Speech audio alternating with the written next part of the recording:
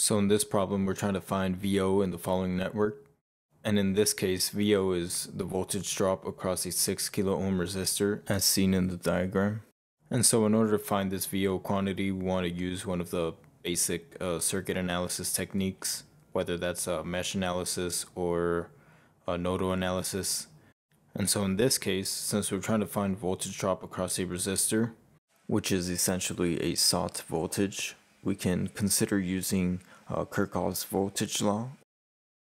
And so Kirchhoff's voltage law, or KVL, is basically tied down to mesh analysis or loop analysis. And so since KVL is in terms of voltage, we can easily uh, just use this technique to find VO.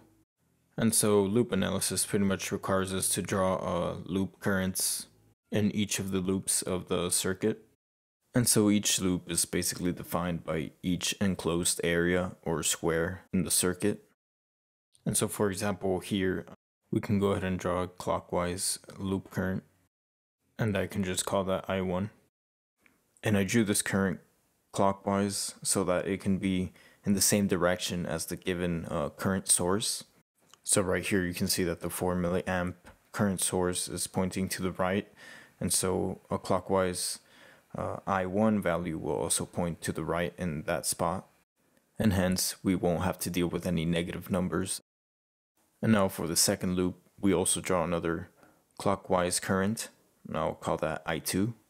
And then here we can also see that the current I2 is also in accordance with the circuit elements since the voltage across a resistor is going to tend to have a voltage drop or potential drop. And so here the current, as you can see, flows from positive to negative, which signals a voltage drop. So pretty much keep in mind that current should flow uh, from positive to negative. So as you can see here, the positive's on the left side, the negative's on the right side, and the current is going from left to right, which satisfies this condition. And this is also the case for that 5 volt uh, voltage source. And so the KVL principle pretty much requires that the algebraic sum of voltages in a loop should be equal to zero.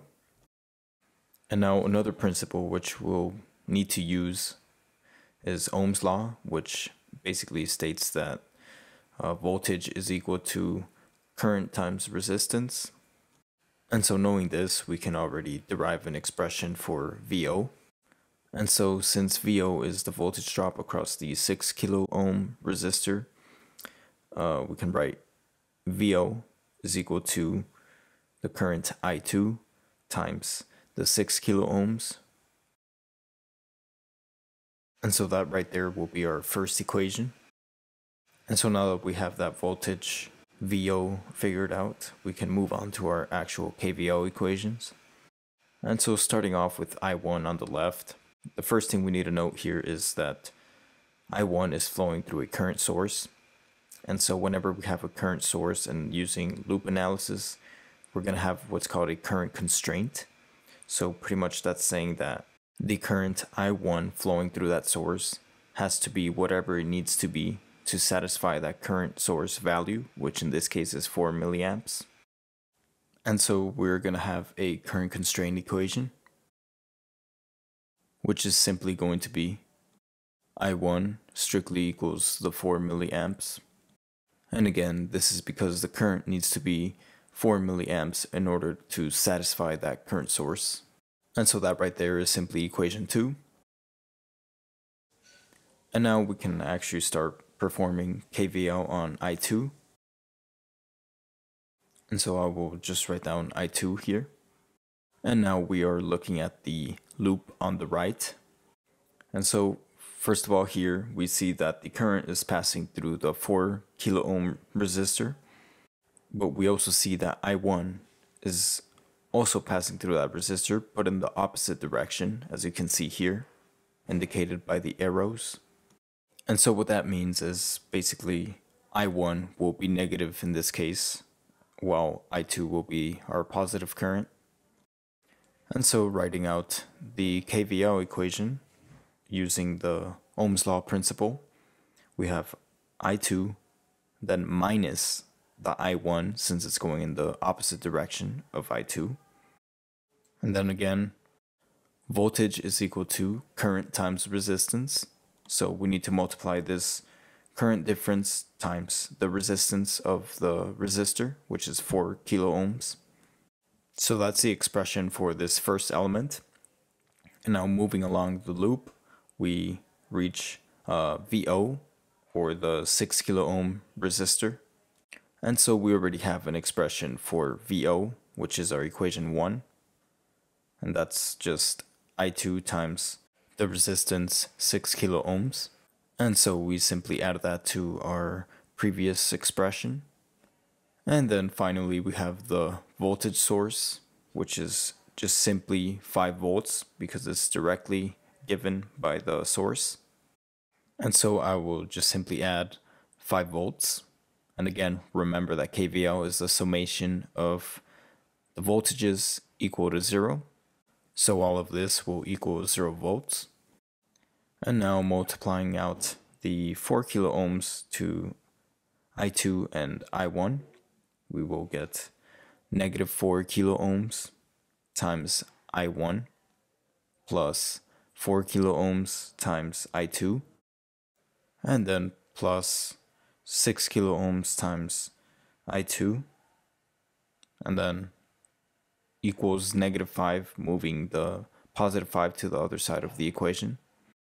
And here we can add the two like terms with I2 and also substitute the value of I1 which is 4 milliamps.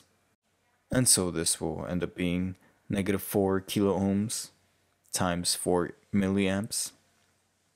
Then adding the 4 with the 6 we get plus 10 kilo ohms times I2 equals negative 5 volts. And so multiplying this out, we get negative 16 volts. Then plus the 10 kilo ohms times I2 equals negative 5. And so here we can now simply solve for I2.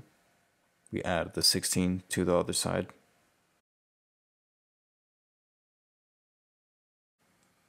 and that leaves us with 10 kilo ohms times I2 equals positive 11 then divide the 10 kilo ohms and so here we have 11 volts divided by 10 kilo ohms and so volts divided by resistance equals current and so that'll leave us with units of current which is what we expect for I2 and that is 1.1 milliamps. So I2 is equal to 1.1 milliamps. And now that we know what I2 is, we can finally simply solve for V naught, which is I2 times 6 kilo ohms. So hence, substituting the value of I2, which in this case is equation 3 into equation 1, we get V0 equals 1.1 milliamps times 6 kilo ohms. Once again, current times resistance, we get units of volts, which ends up being 6.6 volts. And so VO equals 6.6 volts. And I'd like to point out that if you find yourself struggling with circuits by any means, I suggest you review the steps closely and just practice over and over again to sort of build your intuition of seeing the relation between Kirchhoff's laws and Ohm's laws and pretty much get comfortable with solving circuits like these and also keeping in mind of the constraints that may be involved in these circuits. And so I hope you found this video helpful and if you did, be sure to leave a like and subscribe.